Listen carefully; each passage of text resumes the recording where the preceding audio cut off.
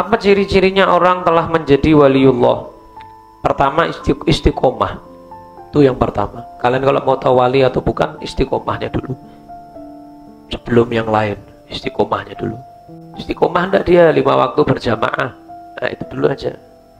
Lima waktunya jamaah apa enggak? Nah, kalau bolong-bolong, eh, enggak wali plus. Lima waktu berjamaah. Istiqomah enggak tahajudnya. Istiqomah enggak Qurannya. Istiqomah enggak ngamalkan ilmunya. Istiqomah dulu. Nah, istiqomah itu berat Lihat kemarin Habib Umar bin Hafid. Kemarin kita lihat dari jadwalnya yang seperti itu.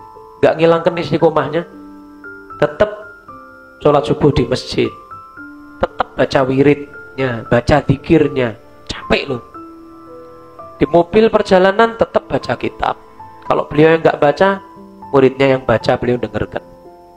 Tidurnya sampai di majelis sampai tidur dari capeknya. Nah, mau lihat wali ya itu lihat Habib Umar bin Hafid kayak gitu wali. Kalau bukan ya itu wali murid. Kan waliullah wallahu alam. Tapi bukan berarti kita suudzon ya. Tetap siapa pun kita sangka dia adalah orang istimewanya Allah. Tidak boleh kita suudzon tidak boleh